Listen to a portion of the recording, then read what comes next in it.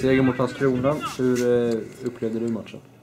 Nej, jag tycker att vi har lite svårt i början. Även om vi har mycket omställningslägen i första halvlek så tycker jag ändå vi har lite svårt att spela fotboll. Vi letar alternativ. Även om plan ser fin ut så studsar och far. Så det, det går inte att behandla bollen. Och vi är lite naiva och letar alternativ kontra att vi, vi egentligen är lite rakare. Och det tycker jag vi blev i andra halvlek och då blev vi också jävligt bra. Gick det som planerat? Seger planerar man ju alltid med, men eh, spelet, gick det som du hade tänkt dig? Ja, jag tycker vi hade lite problem i första halvlek, även om jag tyckte att vi skapade så många omställningslägen som tyvärr inte blev så farligt. Då. Men, men vi skapade så pass mycket lägen att, att det kändes bra på det sättet, att vi hade lätt att komma fram. Jag tycker inte att Landskrona hade så mycket hot. Eh, andra halvlek tycker jag vi korrigerar, får en bra start och sen så tycker jag att det, vi, ja, det är en klasskillnad andra halvlek. Ja, det var ju verkligen en, en drömstart där med Pablos mål efter en, en, halv minut. Efter det så var det ju som om allting bara rullade på. Men ser man till chanserna så skulle det blivit nästan 6-1 istället för 2-1. Eh, är ineffektiviteten ett problem, tror du? Nej, jag tänker inte så nu. Vi vann ju. Så, så, så det känns inte känner inte så riktigt utan jag tycker vi ska vara glada att vi vinner med 2-1. Eh, vi vänder matchen, vi har ett underläge, det är en premiär, det är en bortamatch. Så jag tycker det känns bra. Om du ska välja en profil från eh, matchen, vem väljer, vem väljer du då?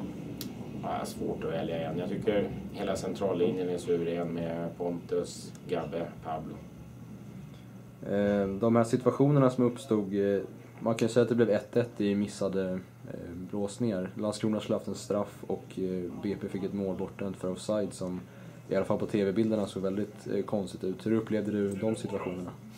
Ja, jag tycker vi det, är lätt, det blir mycket fokus på, på saker som inte vi kan påverka så mycket. Och jag ser inte att det är straff överhuvudtaget på matchen. Eh, däremot när jag ser TV-bilden efteråt, ja, visst, då är det straff. Men jag menar, du har haft två straff i Allsvenskan som man inte har förstått någonting om.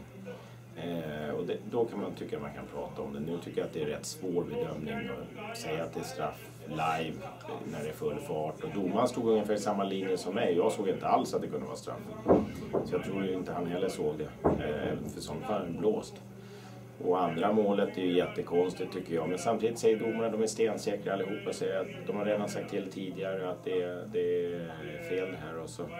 så det är bara att köpa läget och jag tycker ändå att sånt här händer. Man måste vara stark ändå, köra, köra, köra och fokusera på, på själva prestationen hela tiden. För börjar vi fokusera på de här grejerna som vi inte kan påverka, då är vi snett. Hur ser veckan ut som kommer nu? Jag har tränat idag. Eh, idag har vi gym också då, så det blir lite kortare fotbollsträning. Men det är 1.10 ungefär, lite längre för de som, som eh, fotboll alltså. Sen har de gym 35 minuter. Men sen de som inte spelade från start får köra lite längre. Eh, imorgon är det full fart och sen eh, tar vi ledigt torsdag. Tränar fredag, lördag och sen är Falkenberg. Då hörs vi om den matchen senare. Tack så mycket. Tack, tack. Hej.